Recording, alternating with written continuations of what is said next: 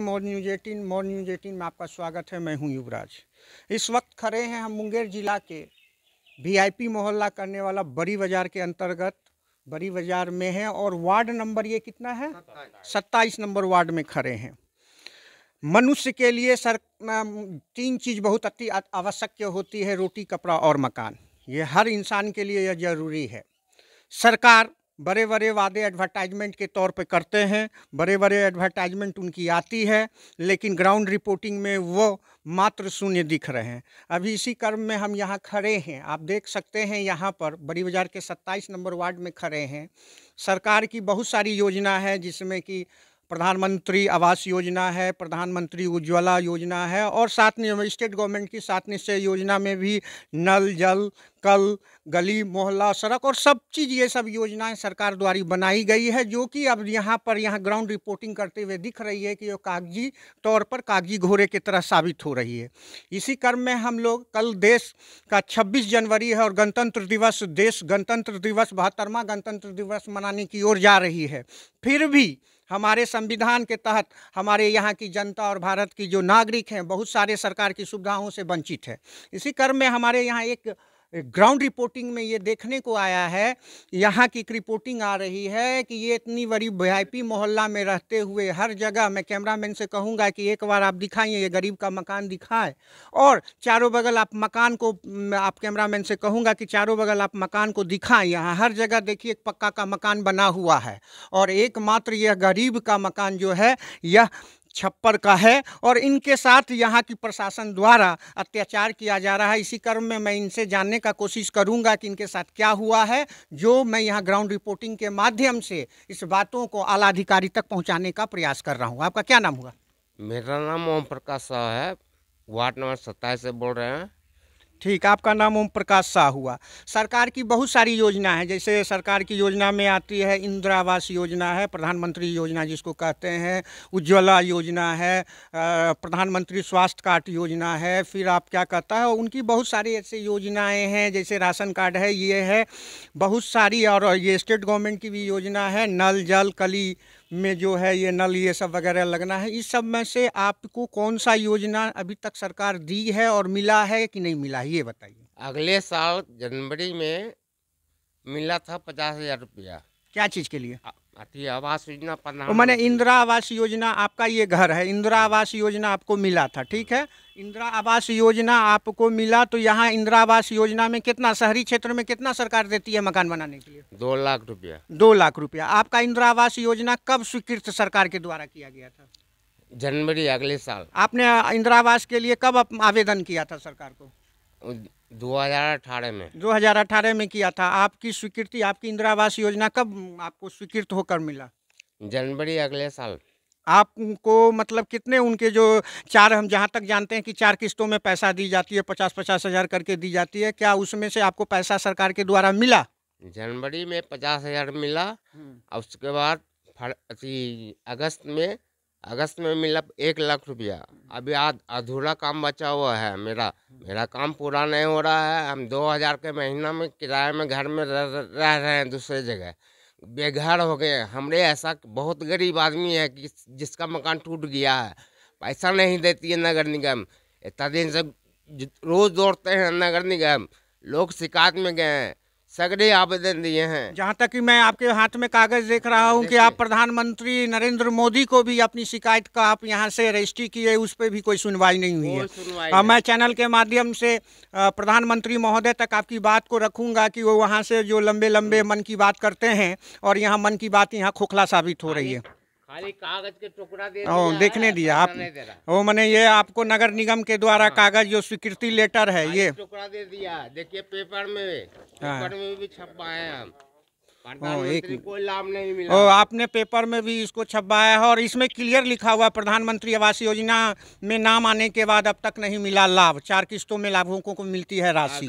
से हम रोज नगर निगम दौड़ रहे हैं और नगर आयुक्त को भगा दिया कि क्या हुआ, ट्रांसफ़र हुआ कि क्या हुआ, हमको पैसा नहीं मिल रहा अभी तक। बेघर किराए के मकान में रह रहे हैं। हमको पैसा चाहिए, हमको घर बनाना है। देखिए, बिहार सरकार इतना बदमाशी कर रहा है कि पैसा नहीं दे रहा हमको।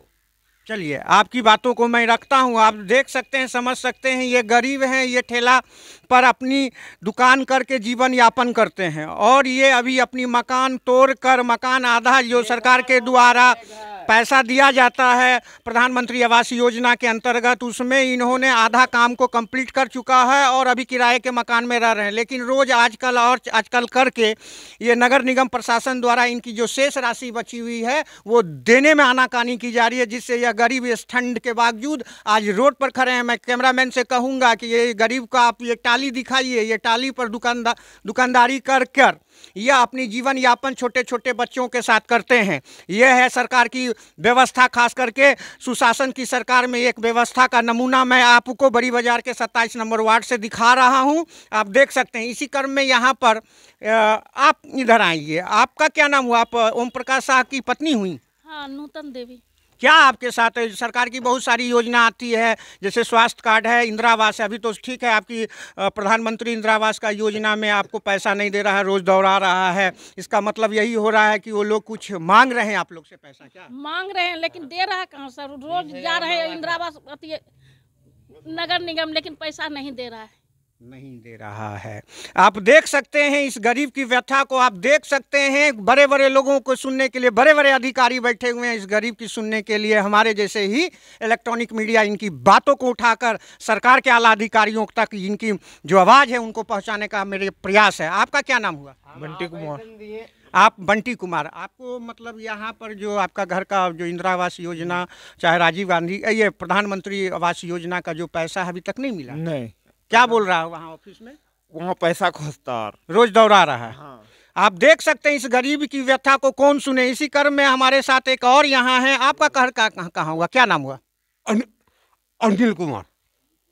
आपको भी सरकार की बहुत सारी योजना है जैसे प्रधानमंत्री इंदिरा आवास योजना है चाहे उज्ज्वला योजना है चाहे प्रधानमंत्री स्वास्थ्य कार्ड है और प्रधानमंत्री का राशन कार्ड है ये सब सब योजना और मुख्यमंत्री का बिहार की सुशासन की सरकार की जो सात निश्चय योजना है जो जिसमें करोड़ों खरबों की रुपया की लूट और बंदरबाट हो रही है उसमें ये शहरी क्षेत्र में खास करके 27 नंबर वार्ड में क्या आपको नल जल योजना की भी सुविधा मिली है कि नहीं? ना सर। क्या क्या नहीं मिला है? ना पानी में दिए ना ना वो स्वास्थ्य विभाग वाला दिए सर।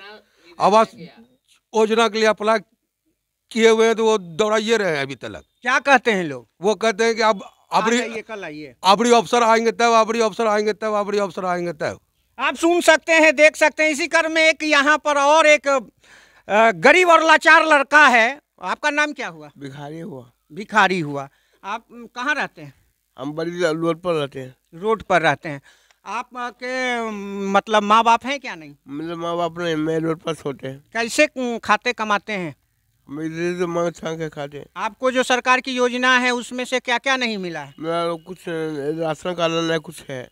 आप देख सकते हैं इस भिखारी को आ, मतलब ये बच्चा गरीब बच्चा को यहीं का रहने वाला है इसकी माँ बाप की साया इसके माथे पर से उठ चुका है ये गरीब है ना इसको तो राशन कार्ड है ना तो इसको आधार कार्ड है ना तो इसको वोटर आई कार्ड है ना रहने की व्यवस्था है ना खाने की व्यवस्था है ये व्यथा है और सर हमारी देश कहती है कि हम चाँद पर मकान बनाने जा रहे हैं तो यहाँ बनाने जा रहे हैं और कल गणतंत्र दिवस की समारोह कर रहे हैं और गरीबों को सुनने के लिए यहाँ पर कोई भी नहीं है। आप राशन कार्ड नहीं बन आपका क्या? राशन कार्ड नहीं बन रहा है मेरा। नहीं बन रहा राशन कार्ड। इसके लिए आप जहाँ बनता है जिस माध्यम से वहाँ गए थे? गए थे कागज़ सर जमा किए फिर भी नहीं आया मेरा। यहाँ के वार्ड कमिश्नर को दिए थे? हाँ? यहाँ के वार्ड कमिश्नर को? यहाँ वार्ड कमिश्नर तो बेकारे है। बेकार है। अब तो इलेक्शन आने वाली है अब तो सब आपकी योजना दौड़ेंगे लोग बना ही देंगे। ओ, आप, मैं कैमरामैन से कहूँगा कि आप इधर आइए, थोड़ा ये रोड का भी नज़ारा उधर उधर से घूम के इधर रोड का भी नज़ारा दिखाइए और पूरे ये, आप देख रहे हैं इतनी वीआईपी मोहल्ला में, हर जगह पक्के की मकान के बीच में खपरे का मकान है, ये दिखाता है, चिराग तले अंधेरा को प्रतीत करता है। आप यहाँ से, मैं कैमरामैन को कहूँगा कि यहाँ से आप दिखाएँ इस धरती का। ये मुख्यमंत्री की सात निश्चय योजना कि ये है, राज, ये रोड देख लीजिए, ना यहाँ नल जल की व्यवस्था है, ना शौचालय की व्यवस्था है।